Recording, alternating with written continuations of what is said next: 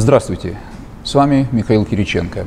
В эфире очередной выпуск новостей международной группы компаний Skyway. На днях мы опубликовали видеоотчет о ходе строительства экотехнопарка и получили большое количество комментариев, как правило, с позитивной оценкой как масштабов строительства, так и темпов и качества. Тем не менее, ряд комментариев позволяет судить о том, что не всем инвесторам еще ясна вся инновационность некоторых элементов строительства экотехнопарка, а также масштабы развернувшейся стройки. В частности, в этом репортаже мы хотели бы подробнее рассказать о первой анкерной опоре, которая возводится в данный момент на территории экотехнопарка. По сути, речь идет не просто об анкерной опоре, такой как та, что уже была построена и испытана на полигоне в озерах 14 лет назад. В экотехнопарке в Мариной Горке мы строим транспортно-логистический узел Skyway, многофункциональный комплекс, в котором функции анкерной опоры совмещены с функциями двух пассажирских станций, городской на втором этаже и высокоскоростной на третьем, автоматизированного диспетчерского центра, энергоузла мощностью порядка 1000 кВт и музея Skyway. Это сложное трехэтажное строение с зелеными насаждениями и зоной для отдыха на крыше, не имеющее аналогов в мире. По функционалу и пропускной способности можно сравнить с международным аэропортом Дубая, одним из крупнейших аэропортов мира, с пропускной способностью 60 миллионов пассажиров в год.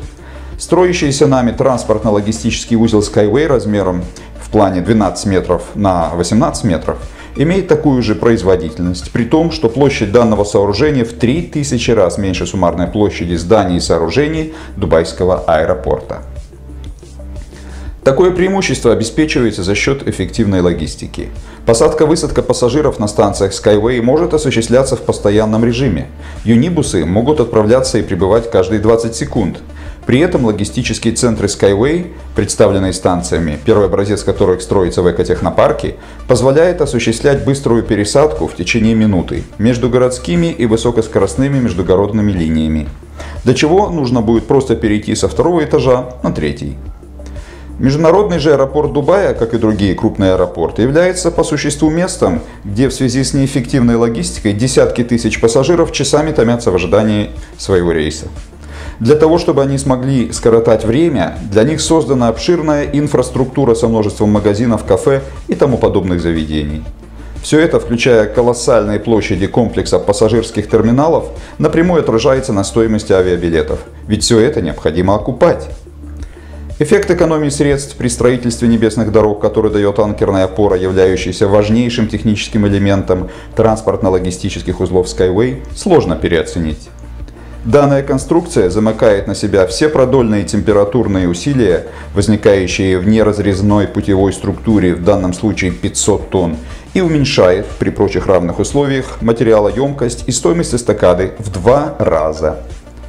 Только это дает первоначальное удешевление в 50 миллионов долларов на каждый километр строящейся эстакадной дороги по сравнению с традиционной балочной эстакадой, имеющей температурные швы.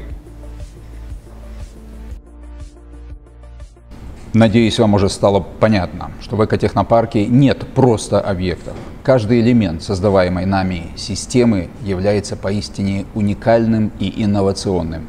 Поэтому запланированные и заявленные, а также соблюдаемые темпы строительства также беспрецедентные. Присоединяйтесь к нашему каналу YouTube, следите за новостями на официальном сайте группы компаний Skyway rsvdefsystems.com не упустите ничего интересного, эпохального, важного. Строй Skyway. Спасай планету.